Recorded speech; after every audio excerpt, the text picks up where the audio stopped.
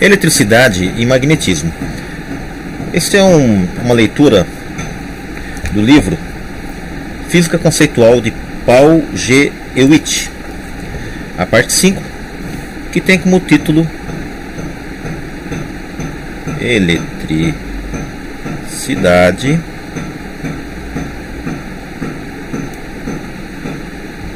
e magnetismo.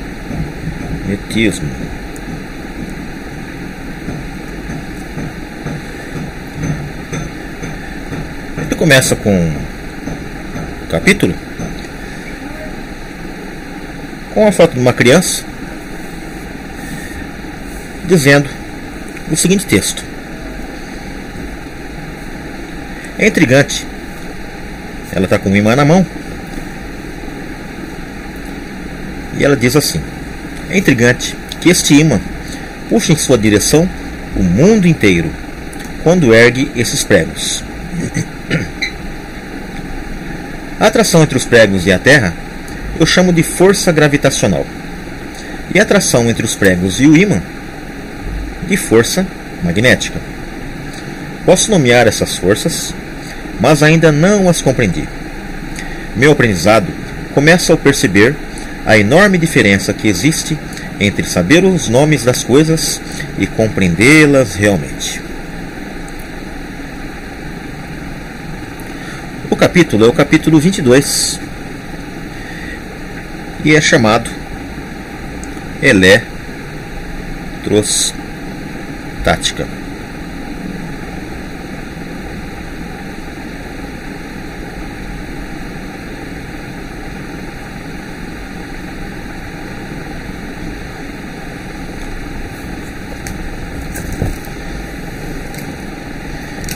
Eletricidade é o nome dado a um amplo conjunto de fenômenos que, de uma forma ou outra, estão subjacentes a quase tudo que nos cerca.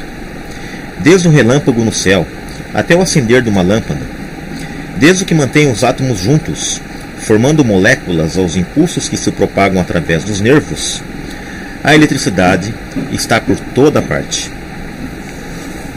O controle da eletricidade é evidente nos diversos aparelhos elétricos, desde forno de microondas a computadores. Nesta era tecnológica, é importante compreender o básico da eletricidade e como essas ideias básicas podem ser usadas para sustentar e melhorar nosso conforto, segurança e prosperidade. Nesse capítulo, investigaremos a eletricidade em repouso, ou eletrostática, como é chamada. A eletrostática envolve cargas elétricas, as forças que existem entre elas, a aura.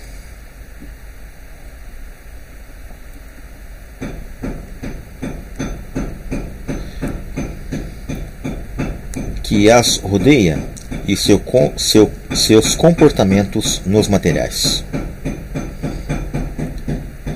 No próximo capítulo, investigaremos o movimento das cargas elétricas, ou corrente elétrica. Também estudaremos as voltagens que produzem as correntes e como elas podem ser controladas.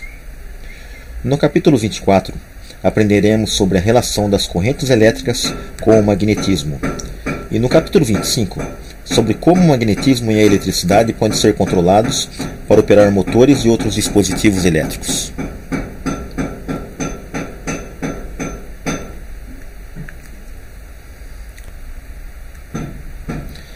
A compreensão da eletricidade requer uma abordagem em estágios, onde cada conceito é o alicerce para o próximo. Assim, por favor, tenha um cuidado especial no estudo desse assunto. Ele pode ser difícil, confuso e frustrante se você for impaciente. Mas com esforço e dedicação, ele pode tornar-se compreensível e recompensador. Avance. Forças elétricas. O que aconteceria se existisse uma força universal, como a gravidade, que varia inversamente com o quadrado da distância, mas fossem bilhões de bilhões de vezes mais forte do que esta. Se tal força existisse, e se fosse, se ela fosse atrativa, como a gravidade, o universo seria comprimido em uma bola apertada, com toda a matéria existente estando agrupada tão junto quanto possível. Mas, suponha que essa força fosse repulsiva, com cada pedacinho de matéria repelindo qualquer outro pedacinho. Como seria então? O universo seria como uma nuvem gasosa em perpétua expansão. Suponha, entretanto, que o universo consistisse de dois tipos de partículas. Partículas positivas e negativas, digamos. Suponha que as positivas repelissem as positivas, mas atraíssem as negativas, e que as negativas repelissem as negativas, mas atraíssem as positivas. Em outras palavras, tipos iguais de partículas se repeliriam e tipos diferentes se atrairiam.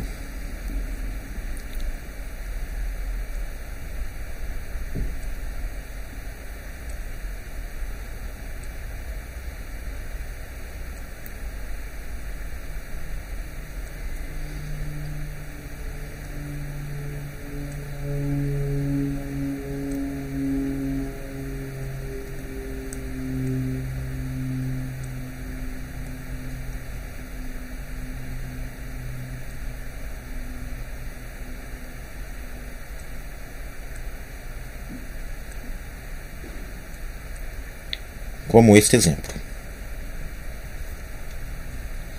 Suponha que existisse o mesmo número de partículas de cada tipo, de modo que essa força intensa estivesse perfeitamente equilibrada. Como seria então o universo?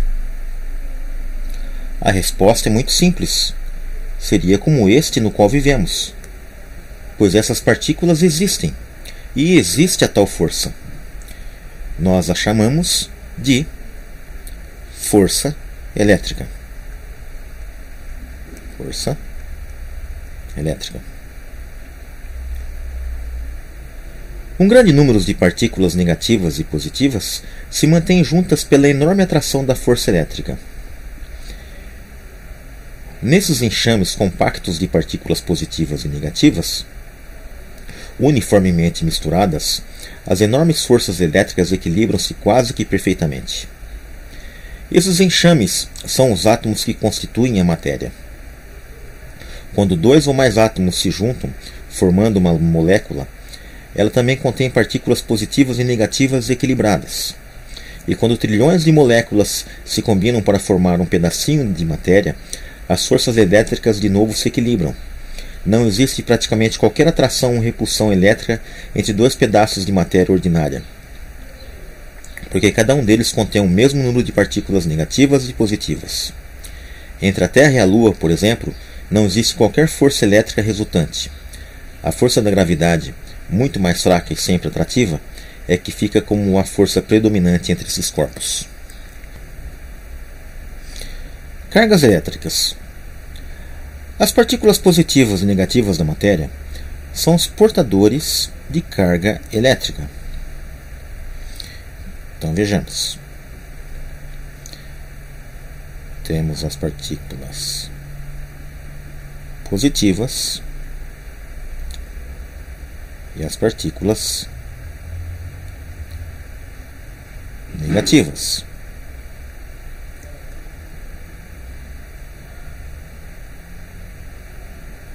Elas são as portadoras da carga elétrica. Carga é a quantidade fundamental presente em todos os fenômenos elétricos. As partículas positivamente carregadas da matéria ordinária são os prótons. Né? Os prótons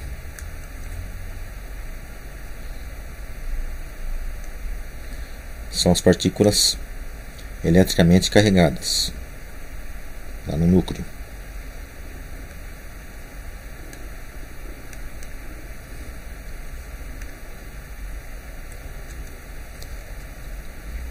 E as negativamente carregadas são os elétrons.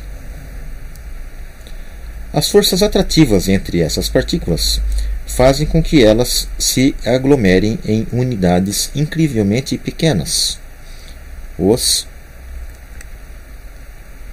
átomos.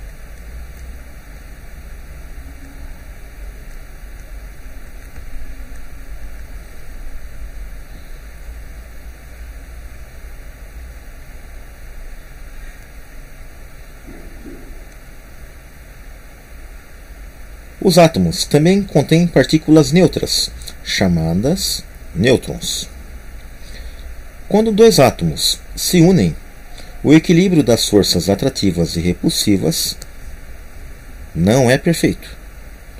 Os elétrons voam dentro do volume de cada átomo, deixando assim áreas onde cargas estão expostas. Os átomos podem então se atrair e formar uma molécula. De fato, todas as forças de ligação que mantêm juntos os átomos, formando moléculas, são de natureza elétrica. Qualquer um que planeje, planeje estudar química deve primeiro conhecer alguma coisa sobre atração e repulsão elétrica, e antes de estudar isso, deveria também conhecer algo sobre os átomos. Eis aqui alguns fatos importantes sobre os átomos. Primeiro, Cada átomo é composto de um núcleo positivamente carregado. Já vimos aqui, né? Seria o, os prótons.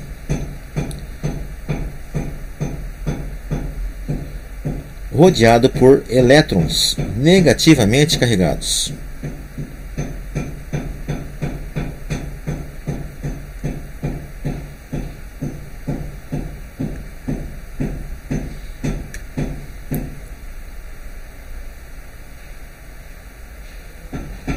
2. Os elétrons de todos os átomos são idênticos. Cada um deles possui a mesma quantidade de carga negativa e a mesma massa. Repetindo, os elétrons de todos os átomos são idênticos. Cada um deles possui a mesma quantidade de carga negativa e a mesma massa. 3. Prótons e nêutrons constituem o núcleo. A forma mais comum de hidrogênio que não contém nêutron algum no núcleo é a única exceção. Os prótons são cerca de 1800 vezes mais massivos do que os elétrons, mas carregam consigo a mesma quantidade de carga positiva que os elétrons possuem de carga negativa.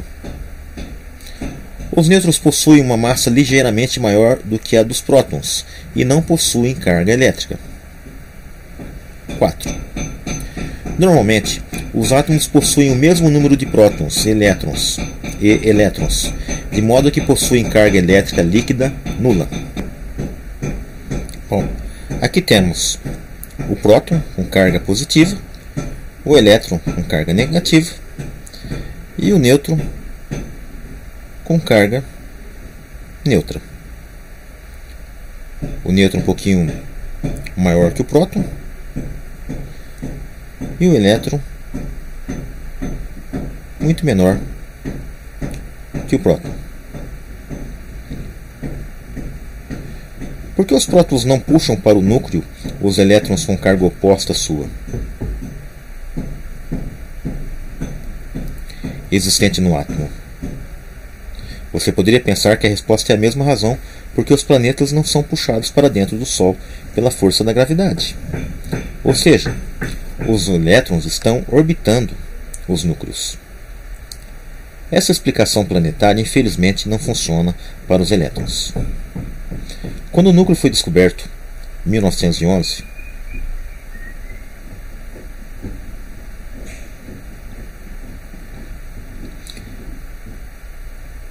Os cientistas sabiam que os elétrons não poderiam estar orbitando tranquilamente em torno do núcleo como a Terra orbita o Sol. Em apenas cerca de um centésimo de milionésimo de segundo, De acordo com a física clássica, o elétron deveria espiralar para dentro do núcleo, emitindo radiação eletromagnética enquanto isso. Portanto, uma nova teoria era necessária, e a teoria que nasceu é a mecânica quântica. Ao descrever o movimento eletrônico, nós ainda usamos a terminologia antiga, órbita e orbital. Uma palavra mais adequada é camada, que sugere que os elétrons estão espalhados numa região esférica. Hoje, a mecânica quântica nos diz que a estabilidade do átomo tem a ver com o caráter ondulatório dos elétrons.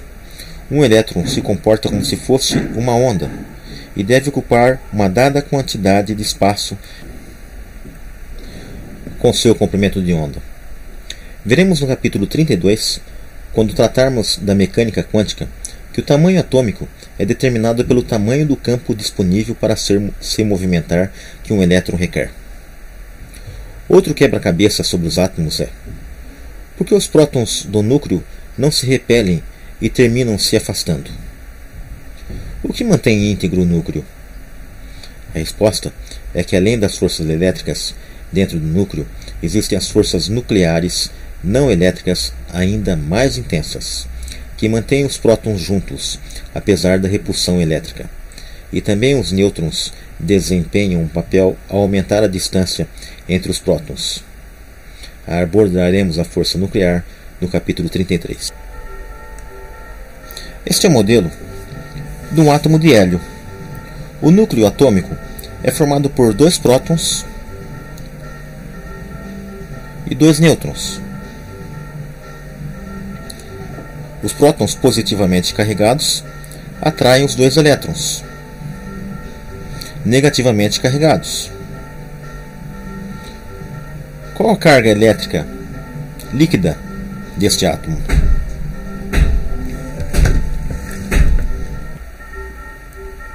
Bom, isso nós já sabemos, né? A carga elétrica líquida é zero.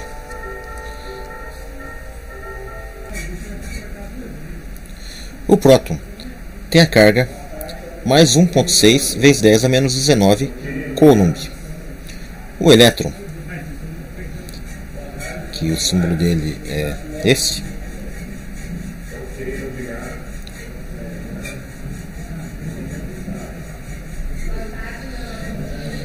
tem uma carga de menos 1.6 vezes 10 a menos 19 Coulomb. Por isso, que as cargas no átomo entre o próton e o elétron são nulas, porque uma é carga positiva, o outro é carga negativa, de exatamente o mesmo valor.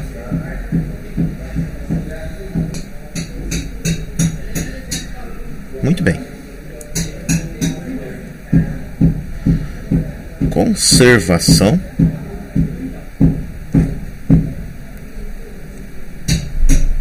de carga. Em um átomo neutro, existe o mesmo número de elétrons e prótons, de modo, de modo que a carga líquida é nula. As positivas cancelam exatamente as negativas. Se um elétron for removido de um átomo, então ele, dá, ele não mais será neutro. O átomo terá, nesse caso, uma carga positiva um próton a mais em relação às negativas, os elétrons. Se diz que ele está positivamente carregado ou eletrizado.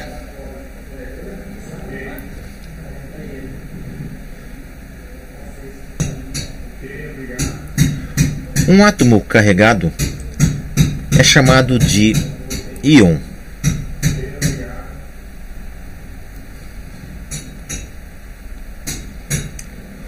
Um íon positivo possui uma carga líquida positiva.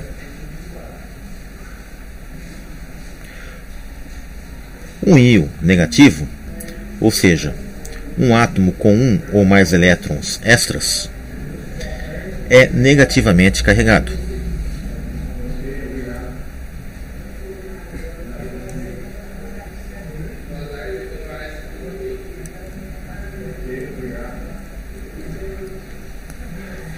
Os objetos materiais são formados por átomos.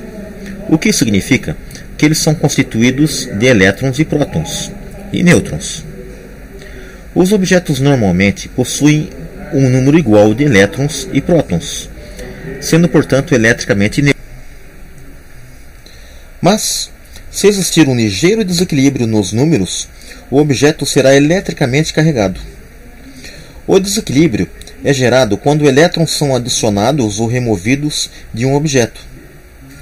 Embora os elétrons mais próximos ao núcleo,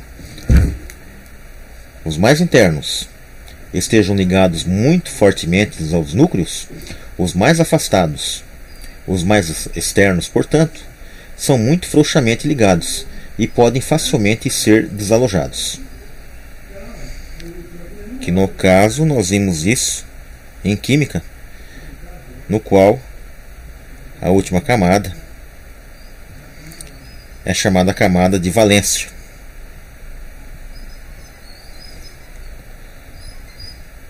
Que é a camada onde os elétrons podem ser mais facilmente removidos. Quanto trabalho é necessário para remover um elétron do núcleo varia de uma substância para outra. Os elétrons estão mais fortemente ligados em materiais tais como borracha ou plástico do que no seu cabelo, por exemplo. Portanto, quando você passa um pente pelo seu cabelo, os elétrons se transferem deste para o pente. O pente, então, passa a ter um excesso de elétrons e se diz que está negativamente carregado. Seu cabelo, por sua vez, ficará com uma deficiência de elétrons e se diz que está positivamente carregado. Num outro exemplo, se você esfregar um bastão de vidro ou plástico com um pedaço de seda, o bastão se tornará positivamente carregado. A seda tem uma maior afinidade por elétrons do que o vidro ou o plástico. Os elétrons são, portanto, arrancados do bastão e transferidos para a seda. Assim, vemos que um objeto que tem um número desigual de elétrons e prótons está eletricamente carregado. Se ele possui mais elétrons do que prótons, ele está negativamente carregado.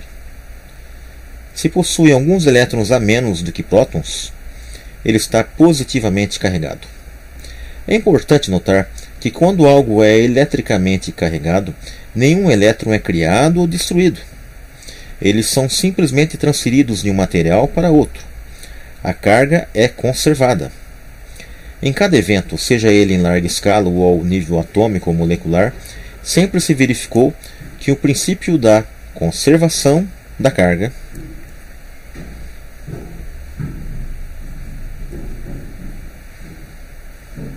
conservação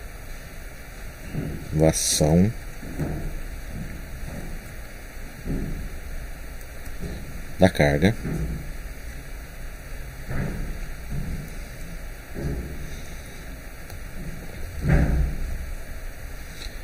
se aplica. Jamais se encontrou um caso sequer de criação ou destruição de cargas elétricas. A conservação da carga é um dos fundamentos da física. Conservação da carga. Ao mesmo nível de importância que a conservação da energia e a do momentum. Qualquer objeto eletricamente carregado possui um excesso ou uma deficiência no número total de elétrons. Os elétrons não podem ser divididos em frações de si mesmo. Isso significa que a carga de um objeto é um número inteiro, múltiplo na carga de um elétron. Ele não pode ter uma carga igual a 1,5 ou 1.000 elétrons, por exemplo. A carga é granulosa, ou seja, formada por unidades elementares chamadas de quanta. Dizemos que a carga está quantizada, com quanto mínimo de carga sendo a carga do elétron ou do próton. Jamais se observou unidades de carga menores do que esta. Todos os objetos eletricamente carregados possui uma carga que é um múltiplo inteiro da carga de um elétron.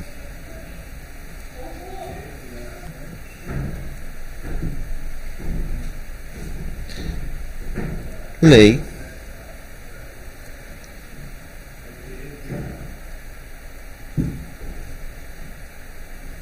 de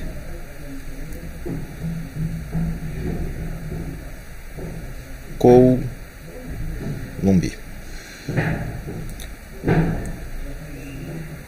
A força elétrica, como a gravitacional, diminui com o inverso do quadrado da distância entre os corpos interagentes.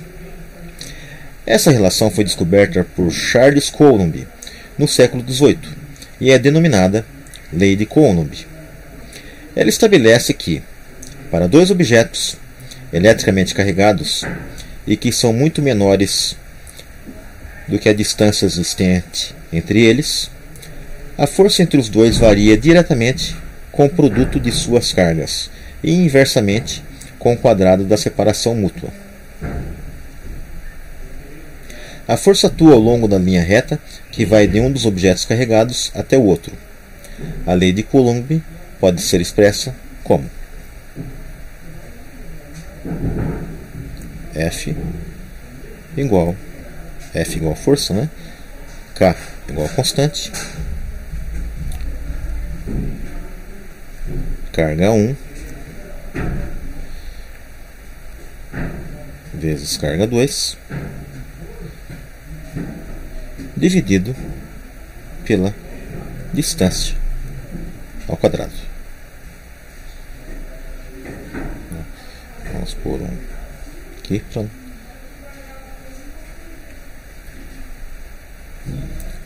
onde D é a distância entre as partículas carregadas.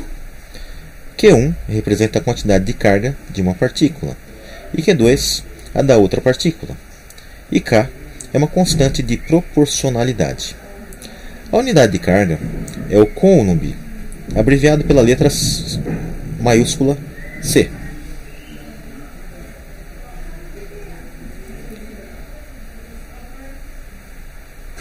Resulta que um Coulomb é a carga correspondente a 6,25 bilhões de bilhões de elétrons. Isso poderia parecer que corresponde a um número muito grande de elétrons, mas de fato representa apenas a quantidade de carga que atravessa uma lâmpada comum de 100 watts durante pouco mais de um segundo. A constante de proporcionalidade K na lei de Coulomb é análoga à constante G na lei de Newton da gravitação. Ao invés de ser um número muito pequeno como g, gravidade, 6,67 vezes 10 a menos 11, a constante de proporcionalidade elétrica K é um número muito grande. Ele vale aproximadamente, ou em notação científica, 9 vezes 10 elevado a nona. Newton. Vezes metro quadrado por Coulomb ao quadrado.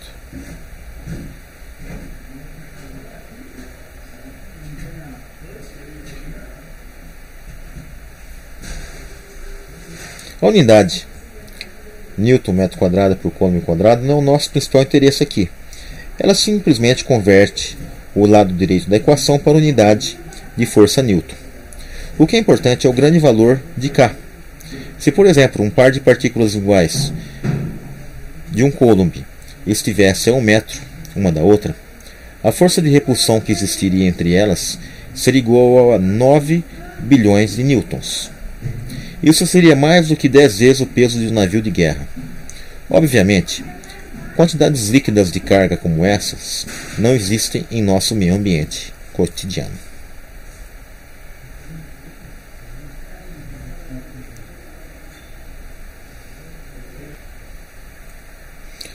Curiosidades: No interior do núcleo atômico, no entanto, Partículas elementares, elementares, chamadas de quarks, possuem cargas com valores absolutos iguais a um terço ou dois terços da carga do elétron. Cada próton ou nêutron é formado por três quarks. Uma vez que os quarks sempre existem nessa combinação, nessas combinações e jamais são encontrados separados, a regra do múltiplo inteiro da carga eletrônica vale também para os processos nucleares. Outra curiosidade: ao comparar os valores de G e K, devemos notar que eles dependem das unidades escolhidas para a massa e a carga elétrica, que poderiam ter sido escolhidas diferentemente. Assim, nossa comparação apenas nos lembra que as forças elétricas são normalmente enormes quando comparadas às gravitacionais. Compare os 9 bilhões de newtons entre as duas unidades de carga a um metro de distância mútua, com atração gravitacional entre duas unidades de massa, quilogramas afastadas de um metro, 6,67 vezes 10 a menos 11 newtons. Uma força extremamente pequena. Para a força de um newton, as massas afastadas de um metro teriam de ter cerca de 122 mil quilogramas cada uma. As forças gravitacionais entre os objetos ordinários são pequenas demais para serem detectadas, a não ser por experimentos extremamente por experimentos extremamente sensíveis. Mas as forças elétricas entre objetos ordinários podem ser relativamente gigantescas, mesmo para objetos altamente carregados. Entretanto, o desequilíbrio entre prótons e elétrons é normalmente menor do que uma parte por trilhão. Outra curiosidade. De acordo com a teoria quântica, uma força varia inversamente com o quadrado da distância, se ela envolve a troca de partículas desprovidas de massa. A troca de fótons desprovidos de massa é responsável pela força elétrica e a troca de gravitons, também sem massa, explica a força gravitacional. Alguns cientistas têm procurado uma relação ainda mais profunda entre a gravidade e a eletricidade. Albert Einstein gastou a parte final de sua vida pesquisando com pouco sucesso por uma teoria do campo unificado. Mais recentemente, força elétrica foi unificada com uma das forças nucleares, a força fraca, que desempenha um papel no decaimento radioativo.